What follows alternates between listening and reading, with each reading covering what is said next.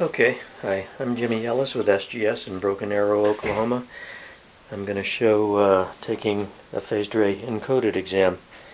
So the encoding is the, you know, we have this string that pulls out, and it can remember how far it's been pulled out.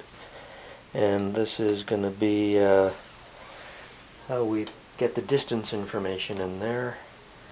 Here's the transducer. Put that on there. Get a little couplant and start a new scan. And here we go. And it's remembering everything it sees, every millimeter as it goes around. And it's painting that in at the bottom and we can review that later.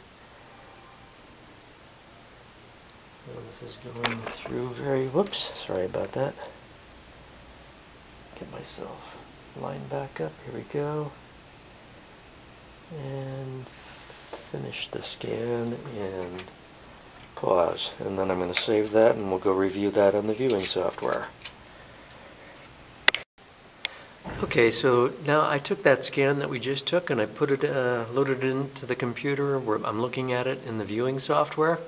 There's a scale over here that goes from zero to one, two, three, four, five, six and a half inches. So when I scanned around that pipe, I was pulling out that string as I went and it pulled it out six and a half inches. So it was six and a half inches around when I went around the pipe. So I can grab this cursor and look at all, at everything that was seen.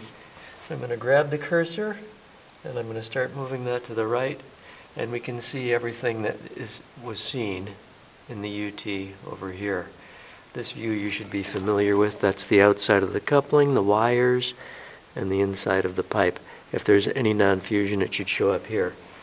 So I just wanted you to see this because if you wanted some permanent record of exams, it could be done with this. It's much more difficult to do. There's a lot of limitations to it. Uh, but if you had this viewing software in your office, you could view scans like this yourself. Uh, all right, so I just wanted you to be aware of that. This is an option, encoded scanning. Thanks a lot. Bye-bye.